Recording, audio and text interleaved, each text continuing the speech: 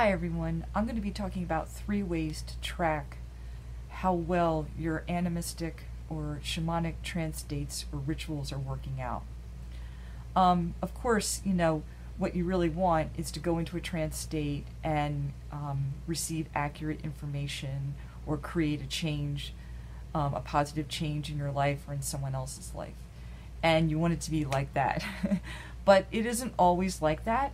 So sometimes there are more subtle cues that can really help um, me to know that a healing I'm doing or a ceremony or even a divination journey is working maybe better than I, I might um, think that it's working.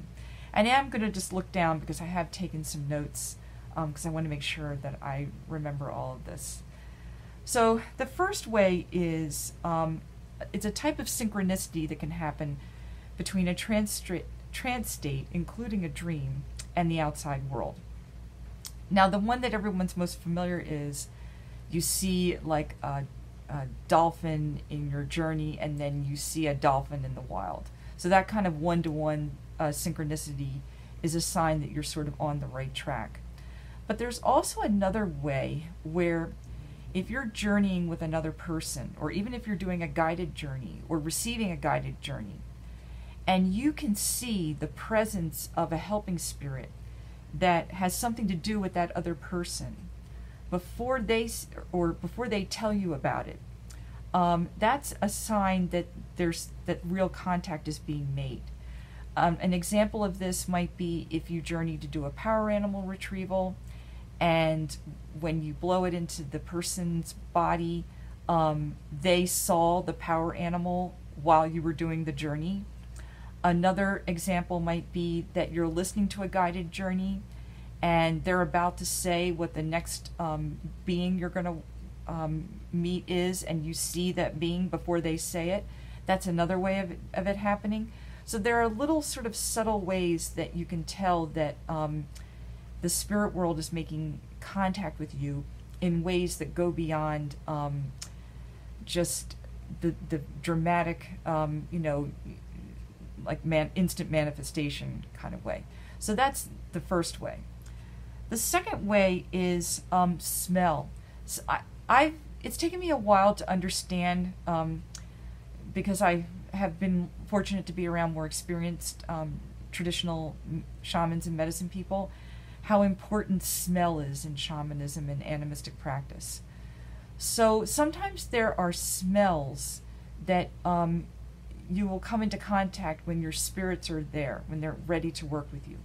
Um, I have connection with the Andean traditions, and in that tradition, sometimes they use something called um, agua de Florida. And so sometimes when I'm working or praying and I'm asking for them to be with me, if I can smell that and I haven't used any of the agua de Florida, that's a powerful message. Um, there was also a time when I was receiving a healing and I had my eyes closed, and I was convinced that the healer was working with um, sacred tobacco with me, and it turns out she wasn't working with that at all. So, I mean, th- these are kind of things that um, can let you know that a spirit, a helping spirit, is there and working with you. Because sometimes um, also that can be um, a sort of you're on the right track message. And the third one is it creates results. Now, this is the most tricky because there are things that take time to manifest, like healing work. Um, sometimes when you get a soul retrieval or um, an extraction or some other kind of um, animistic ceremony or shamanic ceremony, you may have an instant sort of healing or an instant um, like manifestation that says this is working. For example, uh, sometimes people will be able to remember their dreams more easily after they get a soul retrieval. That's um, one indication. Or sometimes it can be out in nature, like you do an extraction, and after you release the spirit, the, uh, the sort of foreign spirit out into wherever it's supposed to go, there's a feeling of like harmony and peace, and there might even be a nature sign like um, it may start like a gentle rain or a rainbow or, or a bird shows up, something you know, sort of that's sort of an affirmation that things are working. And um, basically, those two kind of positive changes usually um, indicate that there's going to be a long term benefit. but that you're going to sort of grow into that over time. So I hope that this um, video is helpful um, with your tracking, and uh, I hope it will help you to have more confidence in what you're experiencing with your journeys. I'm very happy to hear about any uh, questions or experiences you may have, and um, blessings.